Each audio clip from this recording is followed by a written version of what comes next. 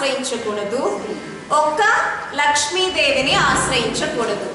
ఏ ఒక్క స్వామిని ఆశ్రయిస్తే ఏమవుతుంది? అంటే శూర్పణకకు పట్టిన గతి పడుతుంది. శూర్పణక ఒక రామచంద్రుణ్ణి ఆశ్రయించింది. ఏమైంది? ముక్కు చెవులు పోయినాయి. అలాగే రావణాసురుడు ఒక్క సీతమ్మనే పొందాలి అనుకున్నాడు. ఏమైంది? ప్రాణమే పోయింది. అలాగే సీతారాముల్ని ఇరువురిని ఆశ్రయించిన వాడు విభీషణుడు.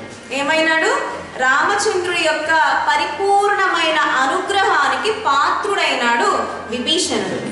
అలాగే మనం కూడా మిథునాన్ని ఆశ్రయించాలి లక్ష్మీనారాయణుల్ని ఆశ్రయించాలి సీతారాముల్ని ఆశ్రయించాలి. రేపు తిరువరంగం. రంగనాచ్యాల సమేత రంగనాథుణ్ణి ఆశ్రయించాలి. గోవిందుడినైతే అలర్మేల్ మంగై తాయార్ల పురుషకారంగా గోవిందుడిని ఆశ్రయించాలి. అదే కంచి అనుకోండి అక్కడ అమ్మ తిరునామం పెరుందేవి. పెరుందేవి తాయార్ల పురుషుకారంగా వరదరాజ పెరుమాళ్ళని ఆశ్రయించాలి. సీతమ్మ పురుషకారంగా రామచంద్రుణ్ణి ఆశ్రయించాలి. అలాగే శ్రీ వైష్ణవ సంప్రదాయము అంటే లక్ష్మీనారాయణుల్ని ఆశ్రయించే సంప్రదాయము అని అర్థం. అయితే శ్రీయపతి లక్ష్మీనారాయణుడిని ఆశ్రయించాలి అంటే మనం పెరుమాళ్ళని ప్రేమించడం గొప్ప కాదు. పెరుమాళ్ళ చేత ప్రేమించబడాలి. మనకి దేవుడు అంటారు కదా బయట అంతా దేవుడు దేవుడు అంటారు. శ్రీ వైష్ణవ సంప్రదాయంలో పెరుమాళ్ అంటారు. ఏమంటారు? పెరుమాళ్. అంటే అర్థం ఏమిటి? పెరు ఆళ్ గొప్ప పురుషోత్తముడు అని అర్థం.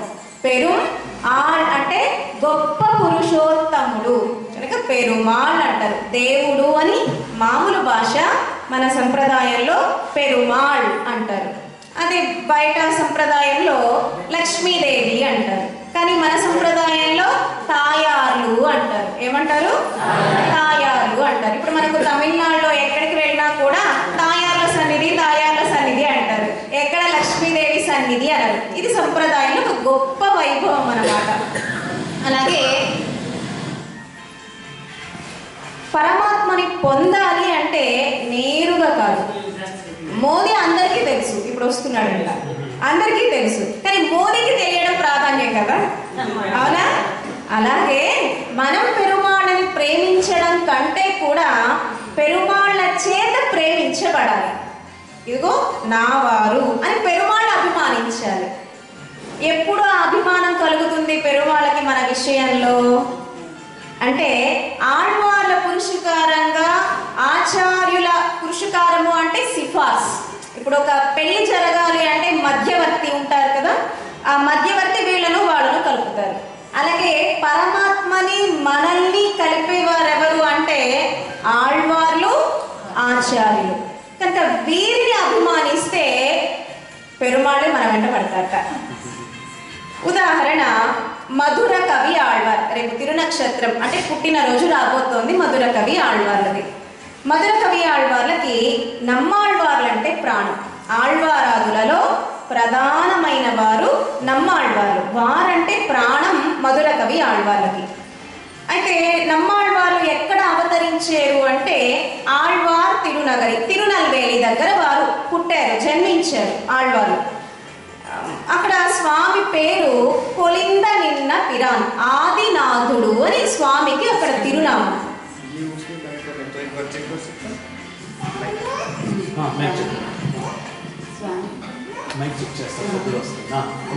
అయితే ఆదినాథుడు మనము ఎక్కడికైనా వెళ్ళినా నేరుగా ఏ సన్నిధానానికి వెళతాం.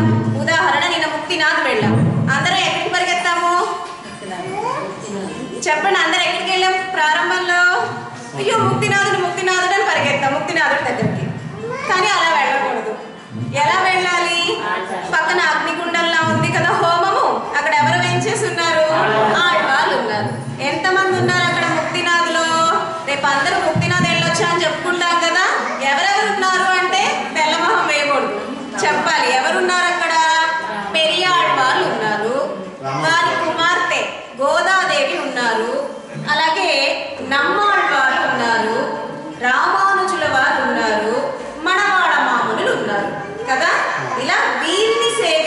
చేసుకున్న తర్వాత పెరుమాళను సేవించుకోవాలి.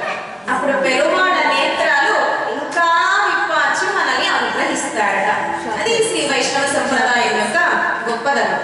ఇంకా ఆళ్వార్ లెవెల్ అంతకి మనకు ప్రొద్దున అవ్వగానే టిఫిన్ కావాలి బాలభోగం కావాలి మధ్యాహ్నం అవ్వగానే సాపాటు కావాలి. అలాగే సాయంత్రము ఏదో స్నాక్ ఏదో కావాలి. రాత్రి మళ్ళీ ప్రసాదం కావాలి. అలాగే మనకు తిండి లేకపోతే మనం ఉండలేము. కానీ ఆళ్వాళ్ళకి ఏంటి సాపాటు? పరమాత్మ గుణాన్ని అనుభవిస్తారు ఆళ్వారాములు. ఉన్నం సోరు పరుగు నీరు తిన్నం వ్యక్తిలై ఎల్లాం కండన్ వారికి ఆకలి అంటే కండా అంటారట. దాహము అంటే రామా అంటారట. భోగ్యమైన పదార్థాలు అనుభవి ఆదినాథ ఓ రంగనాథ ఓ సౌడి రాజా ఓ అశగరే అంటారట ఇవే వారికి ఆళ్వారాదులకి ఆళ్వార్లు అంటే స్వామి కళ్యాణ గుణాలలో మునుగుతూ ఉండే వారిని ఆళ్వార్లు అంటారు మనం నిత్యం పెరుమాళ కళ్యాణ గుణాల్లో మునగట్ల లౌకిక విషయాలతో పాటుగా ఒక అరగంట గంట అంతే కానీ ఆళ్వార్ అలా కాదు పరమాత్మ గుణాలలోనే మునుగుతూ ఉండేవారు గుణాలంటే ఏమిటి ఇప్పుడు రోహిణి చెడ్డది రోహిణి మంచిది. రోహిణి అదిగో అలా ఇలా అని ఉంటాయి కదా అలాగే పరమాత్మ అంటే అందగాడు సౌశీల్యం అనే కళ్యాణ గుణం కలిగిన వాడు సౌశీల్యము అంటే నేను పరాత్పరుణ్ణి రామచంద్రుడిగా అవతరించా నేను గొప్పవాడిని వాళ్ళతో నేను మాట్లాడను. ఇదిగో వీళ్ళు తక్కువ వీళ్ళతో నేను మాట్లాడను అనుకునేవాడు కాదట రామచంద్రుడు. వానర రాజు. సుగ్రీవుణ్ణి మమనాథుడు నానాథుడు అన్నాడు రామచంద్రుడు. వానరాని వానర రాజుని సుగ్రీవుణ్ణి నావాడు అన్నాడు. లంకకు రాగానే సుగ్రీవుడికి చాలా కోపం వచ్చింది రావణాసుడి విషయంలో. రావణాసుడు పది తలలతో పైనగా నుంచుని కింద ఉండే రామచంద్రుడిని చూస్తున్నట్ట బాగా కోపం వచ్చింది సుగ్రీవుడికి. ఎందుకని? నా రాముడు కింద ఉంటే దుష్టుడైన రావణాసుడు పైన నుంచి చూస్తున్నాడే నా రామచంద్రుడిని అని కోపం వచ్చింది సుగ్రీవుడికి. వానర రాజు కదా ఒక్క దూకులో రావణాసుడి దగ్గరకు వెళ్ళి రావణాసుడికి ఏం జరుగుతుందో తెలియట్లా. వెంటనే రావణాసుడి యొక్క కిరీటం తీసుకొచ్చి రామచంద్రుడి పాదాల దగ్గర పెట్టాట. ఎవరు? సుగ్రీవుడు. రామచంద్రుడు ఎదుర్కొంటున్నాడు రామచంద్రుడు ఎవరిని? సుగ్రీవుని ఎక్కడ ఉన్నాడు సుగ్రీవుడు? ఎక్కడ ఉన్నాడు అని. వచ్చి కిరీటం ఎదురుగుండా పెట్టగానే ఎదురుగుండా పెట్టగానే సుగ్రీవా నువ్వు అలా వెళ్ళిపోయినావు నన్ను వదిలేసి రావణాసుడి దగ్గరకి. నీకు ఏదైనా అయితే నేనేమైపోవాలి సుగ్రీవా? ఈ యుద్ధం ఎందుకు? ఈ సీత నాకెందుకు? నా నాదుడివి నీవు. లోక నా రామచంద్రుడు సుగ్రీవుణ్ణి నాగుడుగా భావించాడు. అరమరికలు లేకుండా అందరితో కలిసిపోయే గుణానికి ఏమని పేరు? సౌశీల్యం అలాగే హనుమత్ స్వామి. హనుమంతుడు ఒక బాణరం కదా? అయినా సరే హనుమ ఇద్దరు ప్రాణాలను నిలబెట్టినా నీకు నేను ఏమి ఇవ్వగలను అని దగ్గరగా తీసుకుని తాడ అన్నాడ రామచంద్రుడు హనుమత్ స్వామి శ్రీమతి రామానుజన్.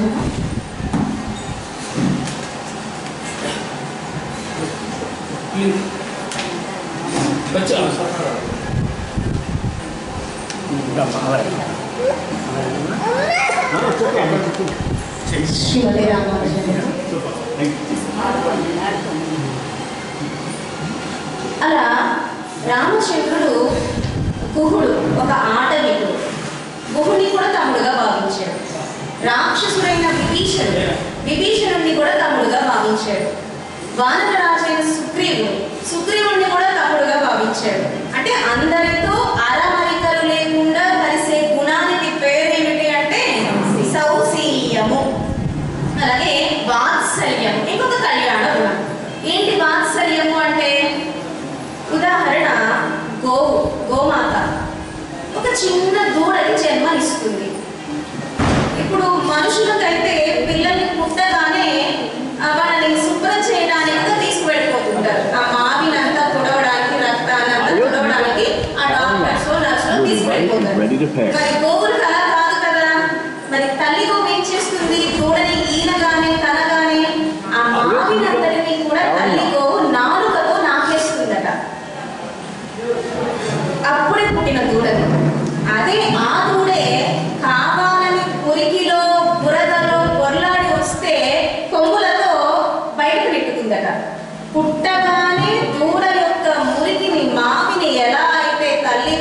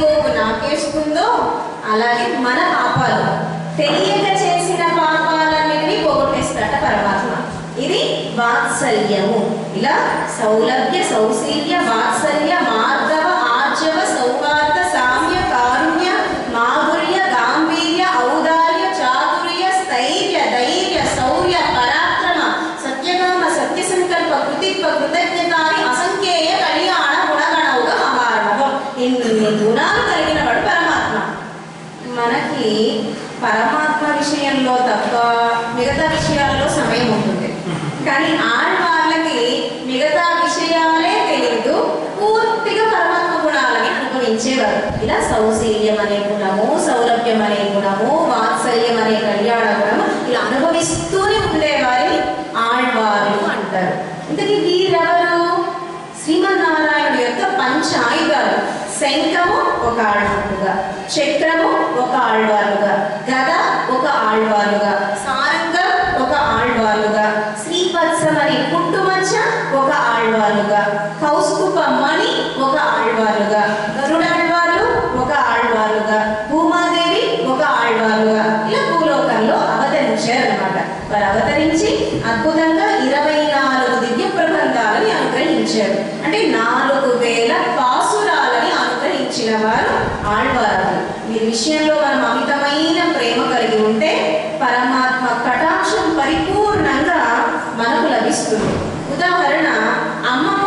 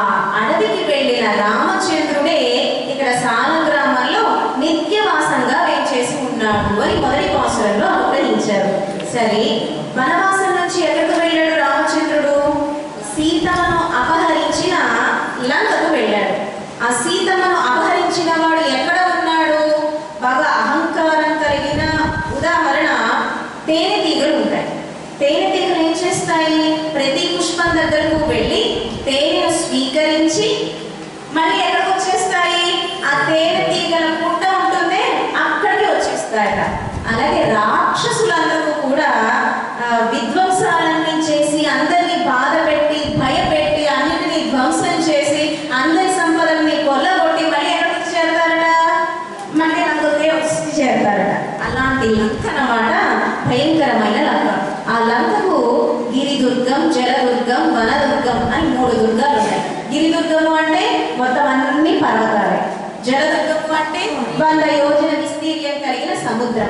అలాగే జలదుర్గం వనదుర్గం వనదుర్గము అంటే అరణ్యాలు. ఈ మూడింటి దాటుకుని ఎవ్వరూ రాలేరు లంకకి. అని మన హనుమంత స్వామి వేయించేశారు ఆ రావణ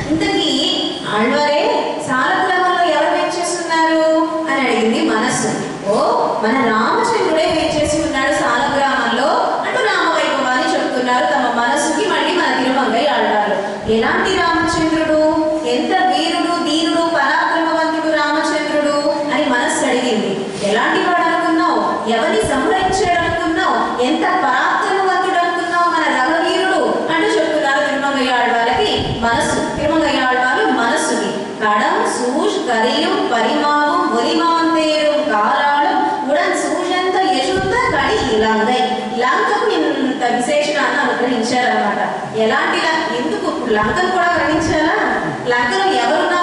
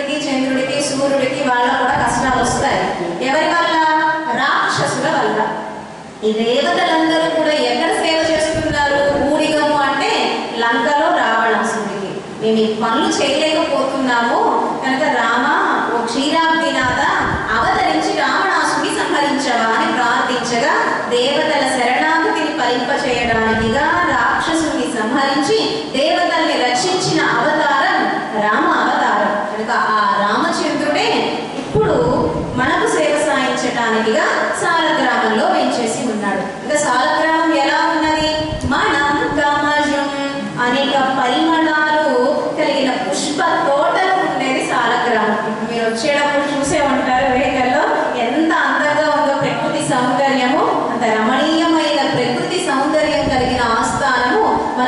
నాద దివ్య దేశం అనమాట మూడవ కౌశలం గులబుతి రయ్యం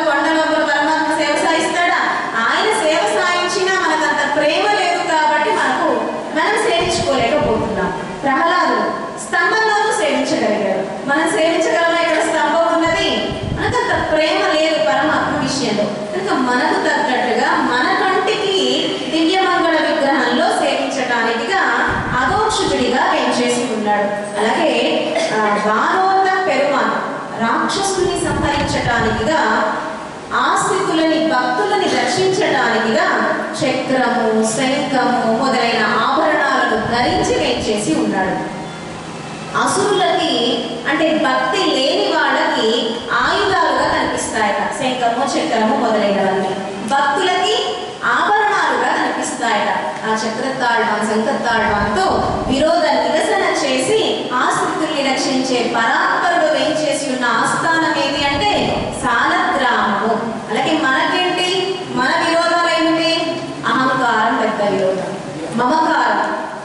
ఆత్మ నాది అనుకోవడం పెద్ద మూఢత్వం అనమాట ఈ ఆత్మ ఏదైతే పరమాత్మదై ఉండగా నాది అనుకుంటున్నాను నేను స్వతంత్రుణ్ణి అనుకుంటున్నాను ఇవన్నీ పోగొడతాడట మన అదోక్షజ పెరుమాళని ఆశ్రయిస్తే అని కూడా పాసురంగా అనుగ్రహించారు. నాలుగవ పాసురం ఊరా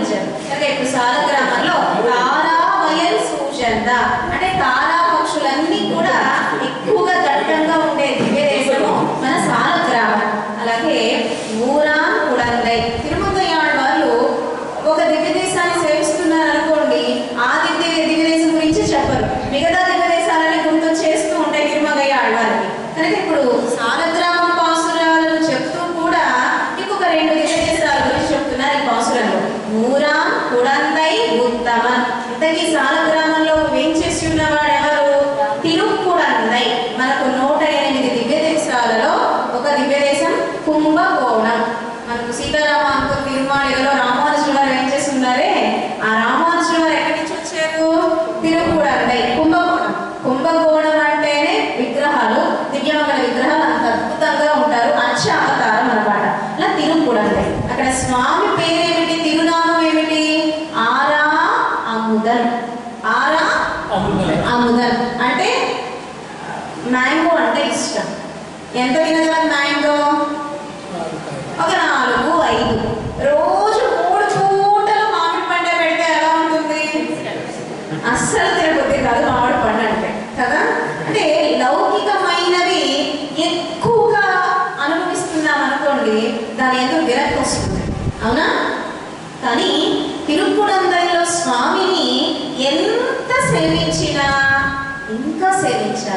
బా స్వామి ఎంత అందంగా పడుకుని ఉన్నాడు. ఇంకా సేవించాలి ఆయన పాద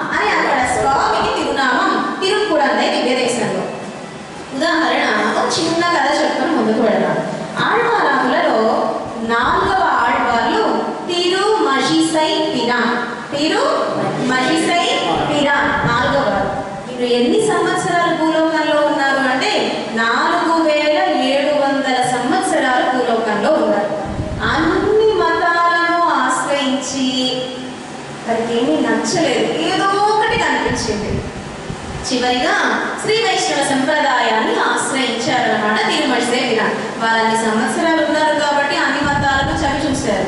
మనకు అల్పమైన ఆయుష్ కాబట్టి మన పెద్ద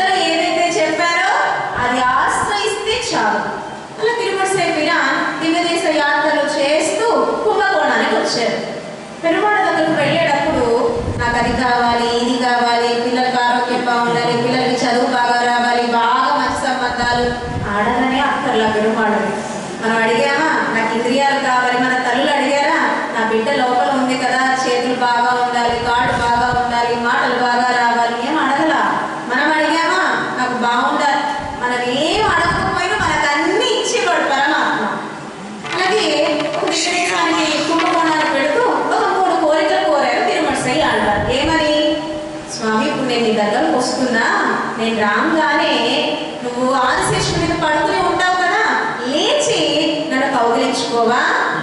అని అడిగారు నేను రాగానే తిరుమలసయ్య నా దగ్గరకు వచ్చారా?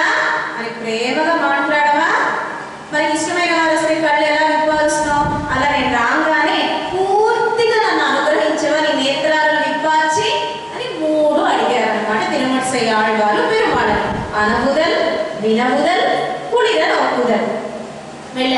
రేపు మూడు అడగాలి అనుకున్నారు కదా నేను రాగానే స్వామి లేవాలి గాడాలి మనం చేసుకోవాలి నాతో మాట్లాడాలి నేత్రాలు విప్పార్చి అనుగ్రహించాలి. తిరుమల సైపిరాన్ని పెడితే ఏమీ లేవలేదు స్వామి. ఆదిశేషుడు మీద పడుకొని ఉంటాడు అనమాట లేవలేదు మాట్లాడలేదు కౌలించుకోలేదు నేత్రాలు విప్పార్చడం లేదు. వాళ్ళు వాళ్ళు చాలా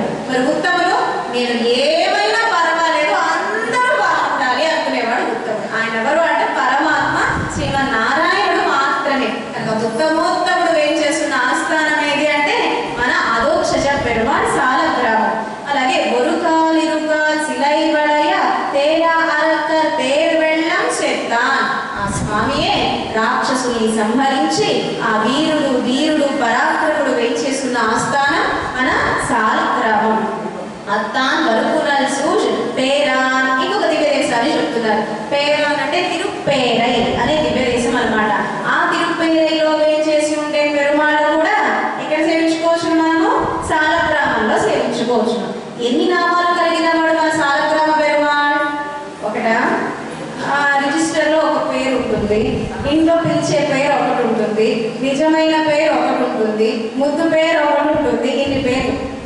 ఈ రెండు మూడు నాలుగు అంతే. ఎక్కువ లేవు కదా కానీ స్వామికి వెళ్ళిన వారు పేరా అనేక నామాలు. అని మనకు అర్థం అనేక నామాలు కలిగిన వాడు నిత్యవాసంగా వెయిట్ చేస్తున్నది.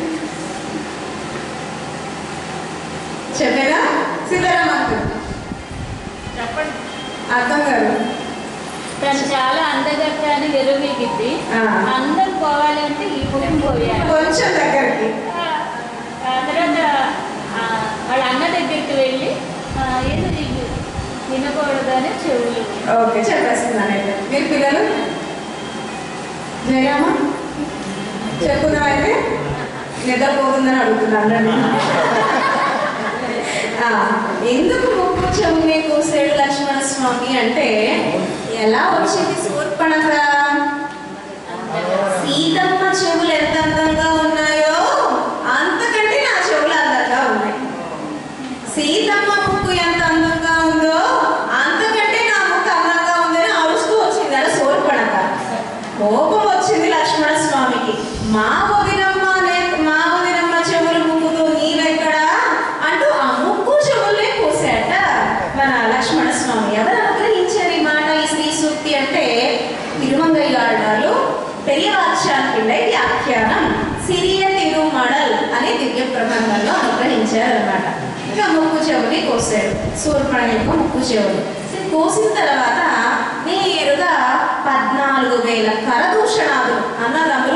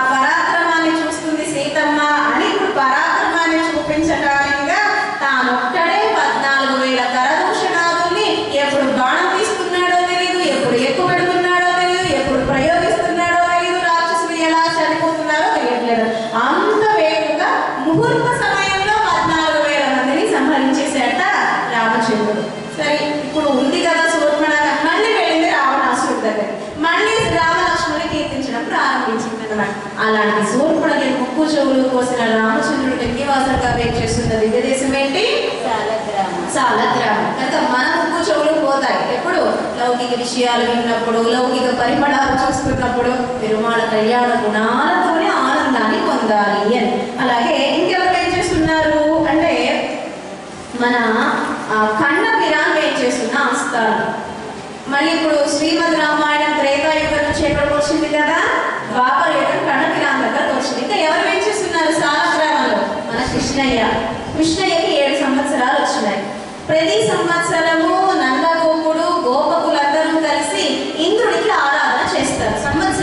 Sao?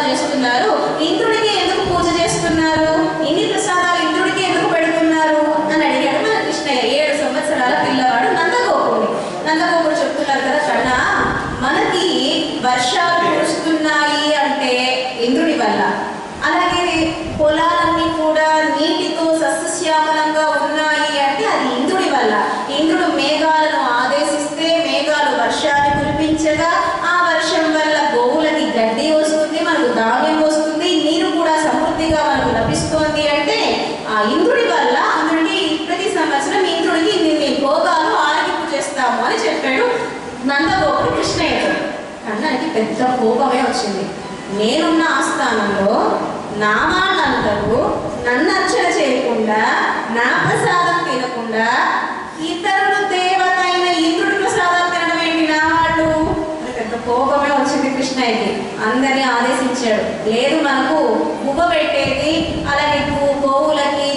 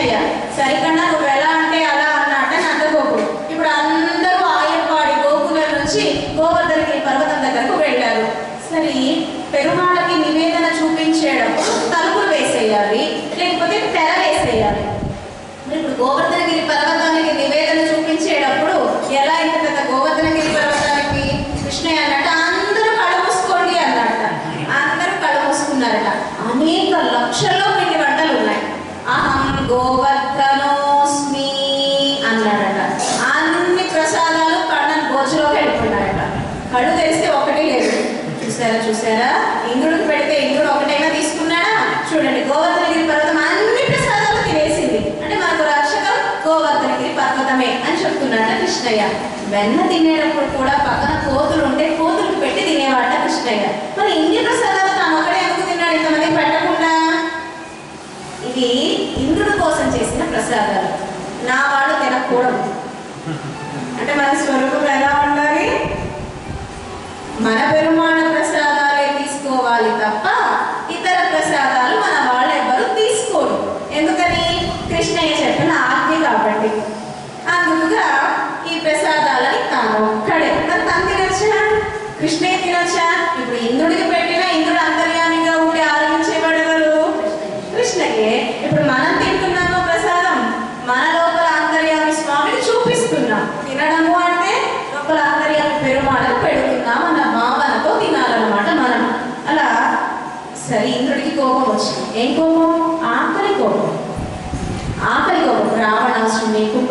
నీ దంతభక్తుడు నీ రావణ సుందరైన వాళ్ళందరినీ చంపాడు. మరి ఇంద్రుడు ఎందుకు చంపకుండా వదిలేశాడు రాడవర్షానికి ఏదో ఆకలి కోపము ఆకలి కోపం తీరగానే మళ్ళీ నా దగ్గరికి వస్తాడు ఇంద్రుడు అని చంపలేదు ఇంద్రుడిని. కోపం వచ్చింది. నా ప్రసాదాలు కృష్ణ ఒక్కడే తినేశాడు అని ఆకలి కోపం రాగా రాళ్ళ వర్షాన్ని కురిపించాడు ఇంద్రుడు ఆయపాడి గోకులం మీద. రాళ్ళ వర్షాన్ని కురిపించాడు కాబట్టి రక్షకమని చెప్పిన గోవర్ అందరినీ రక్షించాడు. చూసారా? గోవర్ధన గిరి పర్వతం మనం ఎలా రక్షించిందో ఇంకొకటి చూసారా? రాళ్ళ వర్షాలు కురిపి అదే నీటి వర్షాలు కురిపిస్తే సముద్రాన్ని ఎత్తేవాట కృష్ణయ్య సరే చిన్ని చిటికిన వేలతో ఎత్తాడు గోవర్ధన గిరి పర్వతం. గోపకులందరికీ భయం వేసేస్తుంది. ఎక్కడ కింద పడేస్తాడో అని.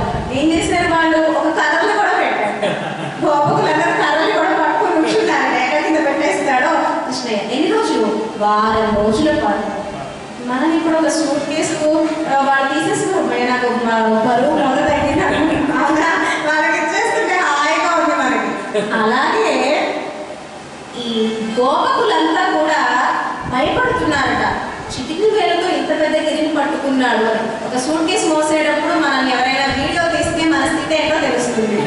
అష్ట వంకలు తిప్పుతాం అనమాట మన చేతి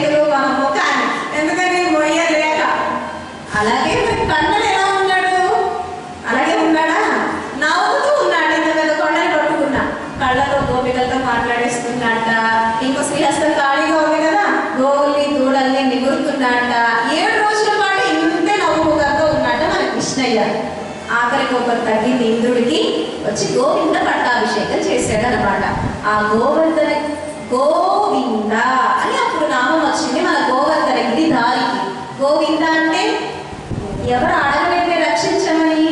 అయినా గిరినెత్తి రక్షించాడా? ఆ గోవిందుడు ఆ గోవర్ధన గిరిదారి ఏం చేస్తున్న ఆస్థానము? మన అదోక్షజ పెరుమాళ్ చాలా గ్రామము అంటున్నారు ఆరవ పాసురం తాయాయి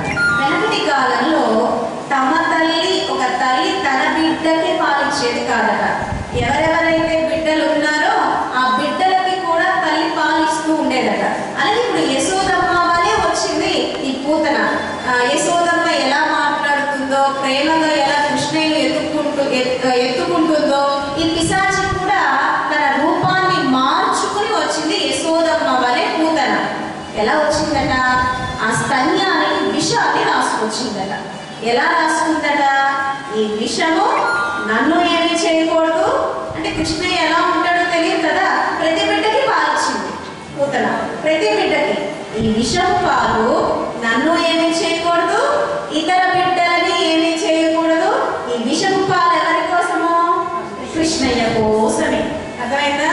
ఈ విషము నన్ను ఏమీ చేయకూడదు ఇతర బిడ్డలు పాలు తాగుతున్న వాళ్ళకి ప్రాణం పోకూడదు ఈ విషపు పాలు ఎవరి కోసము కృష్ణయ్య కోసమే అలా అన్నా ఇష్టమే అట ఇది నా కోసం కాదు ఇది ఇతరుల కోసం కాదు స్వామి నీ కోసమే అని ఏదన్నా ప్రేమగా స్వీకరిస్తాడట అది విషమైనా సరే.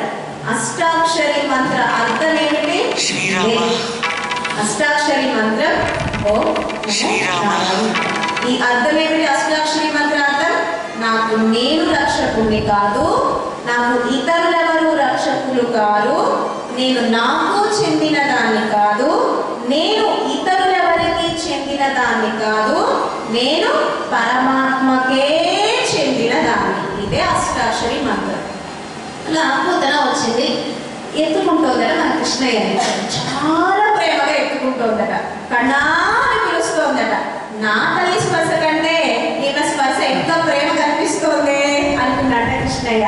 అమ్మ మాట కంటే ఈమె ఇంకా నన్ను ప్రేమగా కణాన్ని పిలుస్తోంది ఎంత ప్రేమగా ఎత్తుకుందో అంతే ప్రేమగా వెళ్ళాట మన కృష్ణయ్య సరే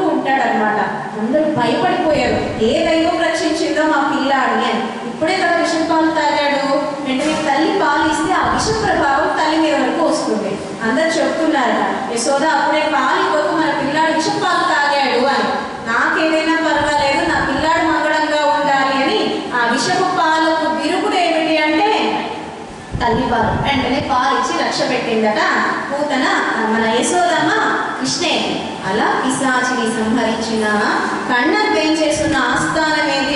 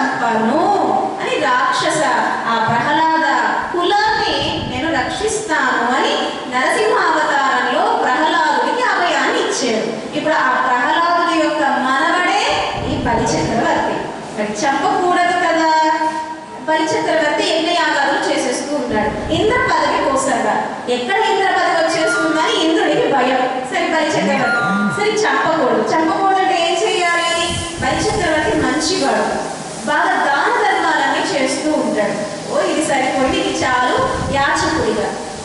బిచ్చగాడికి మాన అవమానాలు ఉండకూడదట. అవునా? బిచ్చగాడికి మాన అవమానం ఉండకూడదు. అంటే ఒక ఇంటికి బిచ్చమెత్తడానికి వచ్చాడు లేదు పక్కెళ్ళవయ్యా అంటే ఏడుస్తూ కూర్చోకూడదు. వెళ్ళాలి. మాన అవమానాలు ఉండకూడదు బిచ్చగాడికి. కానీ మన స్వామికి ఇప్పుడు కొత్తగా బిచ్చమెత్తడం కదా.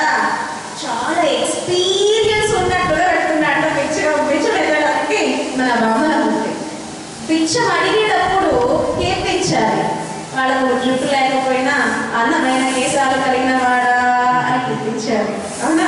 దారధర్మ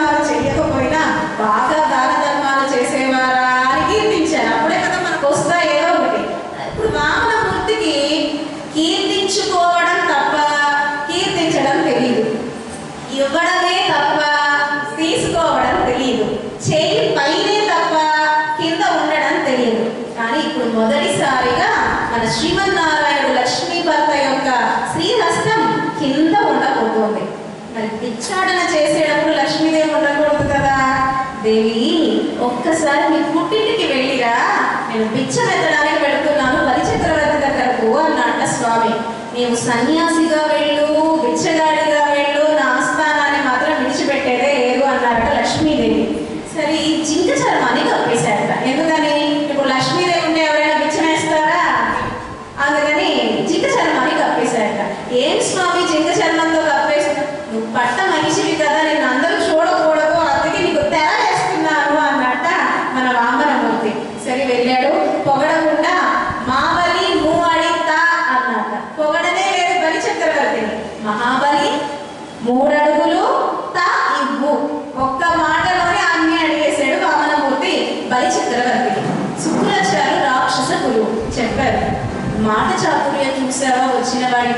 什么？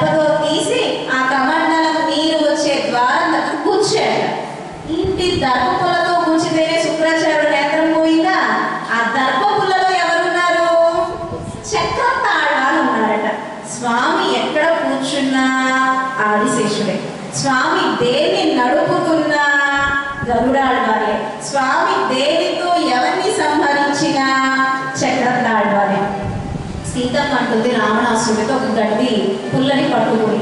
ఎందుకు గడ్డి పుల్ల పట్టుకుంది సీతమ్మ రావణాసుడు వచ్చినప్పుడు? రాజు వచ్చినప్పుడు వాడు ఎంత దుష్టుడైనా సింహాసనం వెయ్యాలి.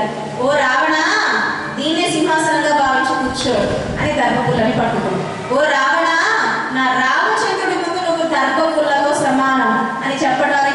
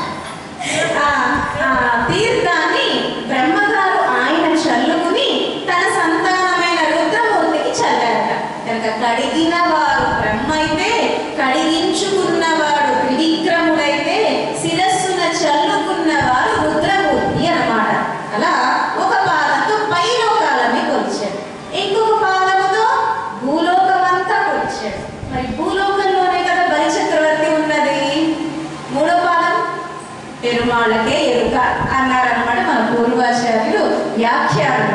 అంటే లోకాలన్నీ కొలిచిన అందరి శిరస్సు మీద పాదం పెట్టిన ఆ త్రివిక్రముడు వేయించేస్తున్న ఆస్థానమేది మన సాలపురాణంలో నిత్యవాసంగా వేయించేసి ఉన్నాడు.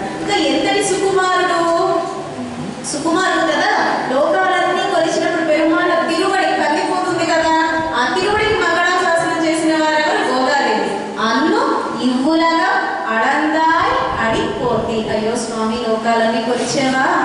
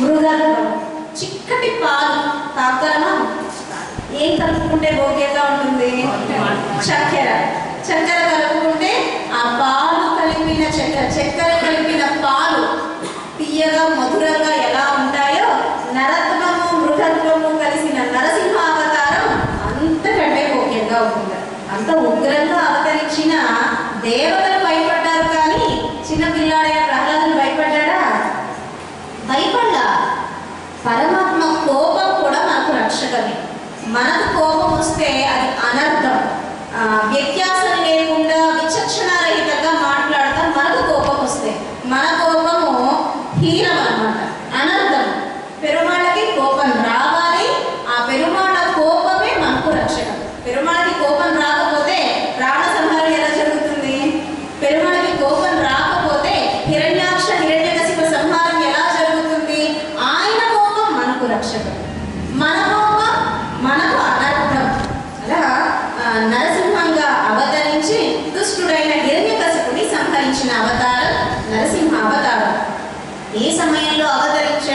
నరసింహుడిగా మన నరసింహస్వామి మళ్ళీ హిరణ్య కసికుడు తపస్సు చేశారు బ్రహ్మగారు ప్రత్యక్షమైనారు. నాకు మనిషి నుంచి చావు రాకూడదు దేవత నుంచి చావు రాకూడదు ఇంటి లోపల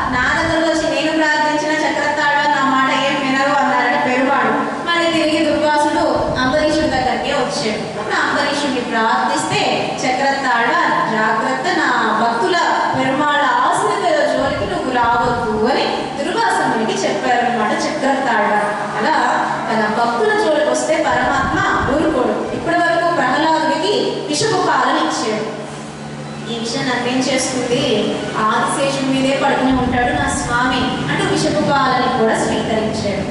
అగ్నిలోకి తోసైపోతాడు హిరణ్యకశిపుడు ఈ అగ్ని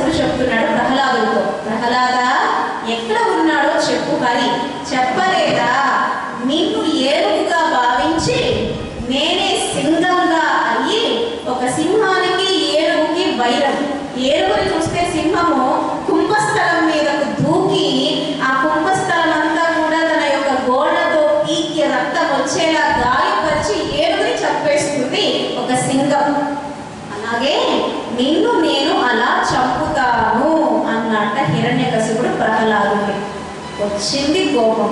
నువ్వెవరివి? నా బిడ్డని అలా చంపటానికి ఏంటి నువ్వు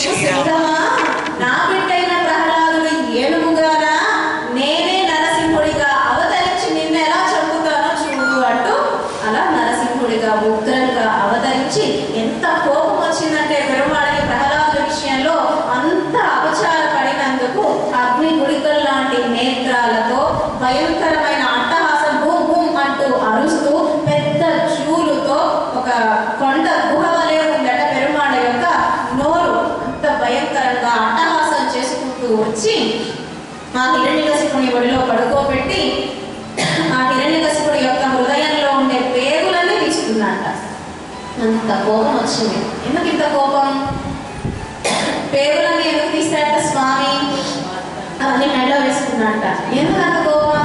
లక్ష్మీదేవి గారు ఎక్కడ వేయించేసుకుంటారు వక్షస్థలంలో.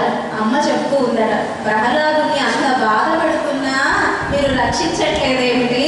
వీరత్వం లేదా పరా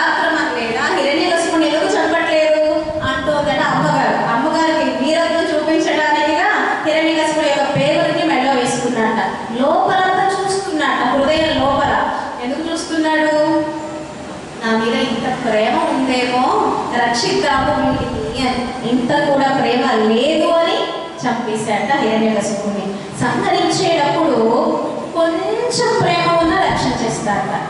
అదే నాలుక చివర మనసులో ఎంత వైరంతో ఉన్నా నాలుక చివర నేను నీవాణ్ణి అంటే లోపల చూడట నాలుక చివరనైనా నేను నీవాణ్ణి అన్నాడుగా రక్షణ చేస్తారట. అంత దయాళువు మన స్వామి ఆ రుద్ర నరసింహుడే ఇక్కడ మన యొక్క అహంకార మమకారాలని పోగొట్టడానికిగా కాలగ్రామంలో వెయిట్ చేసి ఉన్నాడు అని అనుగ్రహిస్తున్నారు ఏడవ పాసులలో అలాగే సూర్యుల్లోనూ చంద్రుల్లోనూ ఆకాశంలోనూ అగ్నిలోనూ వాయువులోనూ పర్వతంలోనూ అన్నిటా సేవ సాగిస్తున్నట్ట ఈ అదోక్షజ పెరుమాళ్ళు అలాగే సాలగ్రామ రూపంలో కూడా వెయిట్ చేసి మనల్ని రక్షించడానికిగా ఉన్నాడు. ఏడవ పాసురంలో అనుగ్రహించారు. ఇక మూడు పాసురాలే ఎనిమిదవ పాసురం వెందా ఎంపు